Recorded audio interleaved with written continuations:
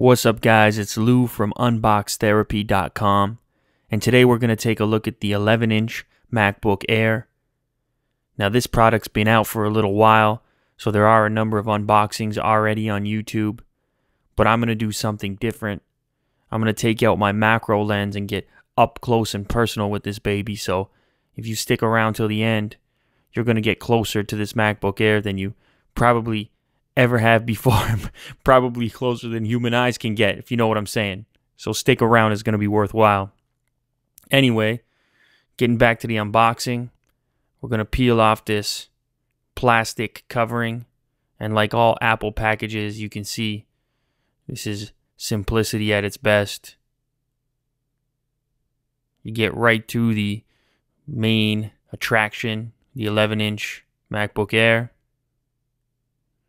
And let me tell you, it's crazy light. I mean, it doesn't feel that much heavier than the iPad 2 in my hands. I mean, I know it is, but it doesn't really feel like that much more. We got our MagSafe power brick, and these are fairly ubiquitous. They all look the same uh, across the entire MacBook product line, but they are different because they supply different amounts of power and the sizes are a little bit different too depending on which MacBook we're talking about. But what's nice about these is they have this removable prong system here so you can pop that baby off and use the extension if you need to be further away from the outlet or you can leave the extension at home and uh, travel a little bit lighter. So it's nice to have that option and PC manufacturers haven't really figured that one out yet. I don't know why. Anyway, we've got our actual MagSafe portion, and that's been redesigned for a while now. I actually had some older MacBooks with the previous style, and it had a tendency to fray. So hopefully this new one is better. Here is everything else. We've got our hello guide. It's basically a quick start guide. I won't be reading that because I won't need to, but it's there for anybody that likes to kick it old school. Next, we've got our USB thumb drive, which is actually going to be used for software restoration. Obviously, this machine doesn't have a disk drive, so that's the way to go. A little bit more documentation and ubiquitous Apple stickers. Next, we've got the unit itself all alone and about to get naked. Let's see if I can get this plastic off of here. There we have it. And like I said, guys, this is just crazy light.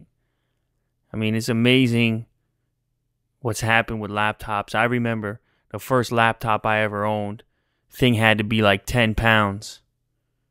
You know, now we're looking at something that's two or just over two. It's quite crazy stuff. Anyway, let's see if I can uh, pop it open here and maybe get it booted up. I'm probably not going to do the whole setup sequence, but I'll show you guys the first boot nonetheless. You can get a look at the keyboard here too, and it's a nice size when you consider the overall size of the laptop. So there we are. That's that first boot. Virgin boot.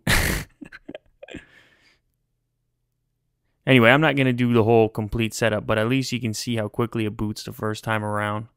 Now, it should speed up uh, after the initial boot because there's all that setup shit going on, but you're not really going to shut this thing down too much because it's got that instant on kind of thing where you pop the lid up and you're right into the OS, so it's not going to be a real issue waiting to boot, I don't think.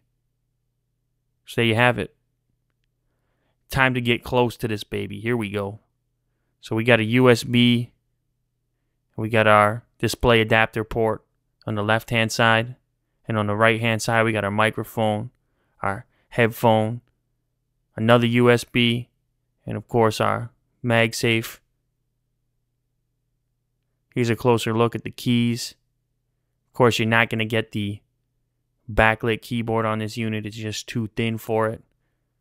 That's all right. Anyway, it was a fun unboxing. I can't wait to use this thing and get a review up for you guys. So be sure to subscribe, so that you can catch that review as soon as it comes up. Oh, there it is up against my iPad too, and I'm telling you, it ain't much bigger.